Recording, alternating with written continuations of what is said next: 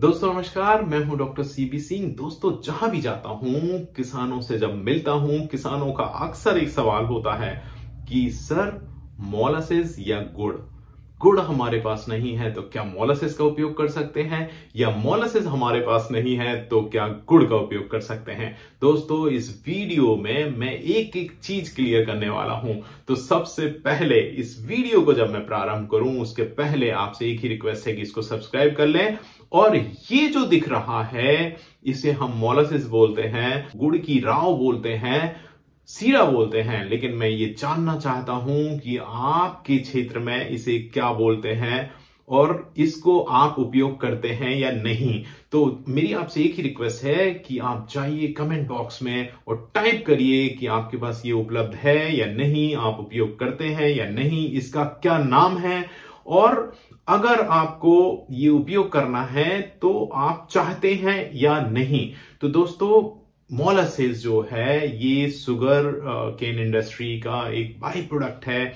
गन्ने की फैक्ट्रियाँ जो होती हैं, वहाँ का एक बाई प्रोडक्ट है, जो कैटल फ़ीड में 99 परसेंट जो कैटल फ़ीड प्लांट्स हैं, जो पैलेट्स बनाते हैं या मैश फॉर्म बनाते हैं, वहाँ ये उपयोग होता है। दोस्तों, इसकी विशेषता ये है, आप देखते होंगे कि ये गहरे रंग का और गाढ़ा पदार्थ होता है, जो बहुत मीठा होता है एनर्जी से रिच होता है, इसमें 43 परसेंट शुगर होती है और सबसे अच्छी बात यह है, इसके तीन चार बहुत बड़े बड़े फ़ायदे हैं। एक तो ये पैलेटेबिलिटी को बढ़ा देता है, जहाँ भी ये ऐड हो जाता है तो जो पशु है, वो बड़े चाव से उसको खाता है। ये बहुत अच्छा एपेटाइजर है मतलब भूख को भी बढ़ाता है। साथ साथ में एनर्जी का बहुत अच्छा सोर्स है। इसमें फॉस्फोरस कंटेंट थोड़ा सा कम होता है, लेकिन जो दूसरे मिनरल्स हैं, वो काफ़ी ज़्यादा मात्रा में होते हैं। दोस्तों, मुझे पता है कि जो आप कैटल फ़ीड प्लांट को विज़िट जब करते हैं तो वहाँ पे आप देखते होंगे बड़े बड़े टैंक होते हैं, जहाँ पर इसको टनों में इकट्ठा किया जाता है, क्योंकि ये फ़ीड में 10 से 15 प्रतिशत तक उपयोग किया जाता है। और अगर इसकी क्वालिटी सही है, सही तरीके से उपयोग किया जाता है तो डेफिनेटली पोस्ट फ़ीड की क्वालिटी बहुत अच्छी बढ़ जाती है, क्योंकि ये एक पैलेटिंग एजेंट की तरह काम करता है पैलेटेबिलिटी को बढ़ा देता है, इसकी खुशबू बहुत प्यारी आती है। तो ये एक इंटीग्रल पार्ट है। मैं कहता हूँ कि ये सबसे इंपॉर्टेंट इंग्रेडिएंट है। कैटल फ़ीड का स्पेशली जो पैलेट्स बनते हैं।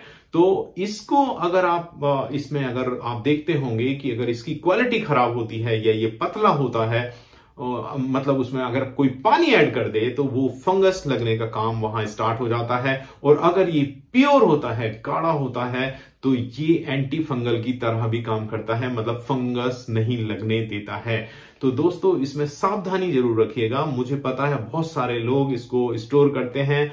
और उसमें लापरवाही से या उसको डाइल्यूट करने के लिए पानी मिक्स कर देते हैं, जिसके कारण उसकी क्वालिटी बहुत खराब हो जाती है और उसको जिस भी फ़ीड में उपयोग करते हैं, उस फ़ीड की क्वालिटी भी खराब हो जाती है। तो कभी भी मोलसिस में पानी ऐड ना करें। तो मैं आपसे एक ही इसमें आप लोगों को सलाह दूँगा।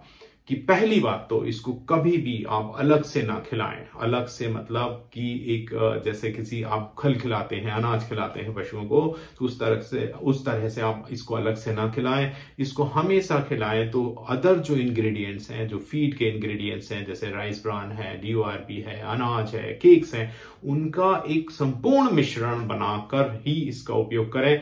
दूसरा, जिनको ये नहीं मिलता है या जहाँ पे ये आसानी से अवेलेबल नहीं होता एक्साइजेबल है तो वहाँ पर आप गुड़ का उपयोग भी कर सकते हैं। गुड़ का उपयोग थोड़ा सा डिफ़िकल्ट होता है, लेकिन अगर बहुत ज़्यादा एनिमल्स नहीं है और आप इसको स्टोर नहीं कर सकते, कहीं दूर से लाना पड़ता है तो आप इसकी जगह पर गुड़ को भी मैश करके फ़ीड में मिक्स कर सकते हैं। उससे भी एनर्जी प्राप्त होगी उस एनिमल को और उससे भी फ़ायदा मिलेगा। तो मोलसेस जो है मैंने आपको बताया कि इंटीग्रल पार्ट है। ये महाराष्ट्र में बहुत मिलता है मध्य प्रदेश में मिल जाता है यूपी में मिल जाता है। आ, लेकिन जहाँ पे गन्ने की खेती नहीं होती वहाँ से दूर से इसको लाना पड़ता है। तो ये जो फ़ायदा क्या क्या करता है? सबसे पहले मिल्क प्रोडक्शन बढ़ाएगा, क्योंकि एनर्जी का बहुत अच्छा स्रोत है। तो जब अर्ली इलेक्ट्रेशन में इसके बहुत सारे फ़ायदे हैं। एक तो एनिमल को नेगेटिव एनर्जी बैलेंस में नहीं जाने देगा, दूध का उत्पादन बढ़ाएगा, और जब एनर्जी इजीली और फास्ट मिलेगी उस एनिमल को तो बाकी जो न्यूट्रिएंट्स हैं, उनकी भी अवेलेबिलिटी उसके शरीर में बढ़ जाती है, उनका एब्जॉर्प्शन बढ़ बढ़ जाता है और आपका जो एनिमल है, वो तंदुरुस्त होता चला जाता है मिल्क प्रोडक्शन बढ़ता चला जाता है। लेकिन उसके साथ साथ इसमें एक सावधानी रखना बहुत इंपॉर्टेंट है। जब भी आप इसका उपयोग करते हैं, क्योंकि ये रेडिली अवेलेबल एनर्जी का एक शानदार स्रोत है। मतलब इसमें जो ऊर्जा है, वो एकदम से पशु को मिलती है। तो उसके कारण जो उसका रूमन है, वो अपसेट होने के चांसेस बढ़ जाते हैं। एसिडोसिस होने के चांसेस बढ़ जाते हैं। तो हमेशा याद रखिए, इसको बैलेंस करना है रफेज से या ऐसी डाइट से, जिसमें फाइबर हो फाइबर की मात्रा हो, और उसके कारण उसकी जुगाली प्रॉपर चलती रहे। अदरवाइज़ मिल्क का प्रोडक्शन तो बढ़ेगा, सब कुछ सही होगा। लेकिन साथ में जो है, उसका गोबर गीला हो सकता है, ढीला हो सकता है एसिडोसिस हो सकती है। तो याद रखिए, इसको फाइबर के साथ बैलेंस करके दीजिए। अन्य जो जो भी इंग्रेडिएंट्स हैं, उनके साथ बैलेंस करके दीजिए।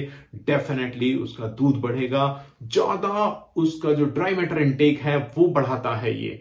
और साथ में एक चीज़ जो मैंने बताई है, इसको थोड़ा सा ओपन स्पेस में रखने से बचिए। अगर आपने इसमें हवा के कांटेक्ट में बहुत ज़्यादा रहेगा तो इसकी ऊपरी लेयर पर फंगस लग सकती है।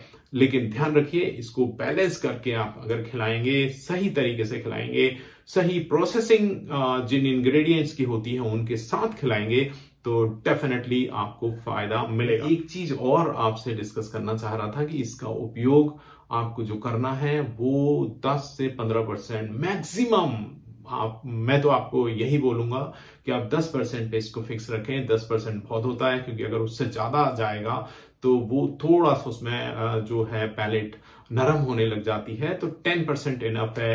आप इसको 8-10 परसेंट तक अगर रखते हैं तो डेफिनेटली आपकी वो जो फ़ीड की पैलेट है या फ़ीड की जो क्वालिटी है, वो बहुत ज़्यादा इंप्रूव हो जाएगी। लेकिन इसके, अगर आप इसको मिक्स करते हैं तो आप देखेंगे उस फ़ीड में चूहे बहुत ज़्यादा लगने का एक वो रहता है कि वो बैग को काट देते हैं, आसपास जो है, अगर चूहे हैं वहाँ पे तो वो इसकी तरफ़ अट्रैक्ट होते हैं क्योंकि मीठा है तो इसलिए चूहों का इंतज़ाम ज़रूर कर लें अदरवाइज़ आपका नुकसान होगा।